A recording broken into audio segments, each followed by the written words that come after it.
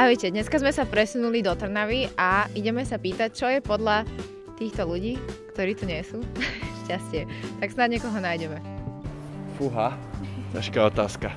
Neviem, všetko, čo mi urobí úsmev na tvári. Čo je podľa teba šťastie? Mm, Futbal. To je to chlapec. Láska, rodina, priatelia. Pocit, ktorý ma náplňa. Takže mám robotu a za toho zdravie.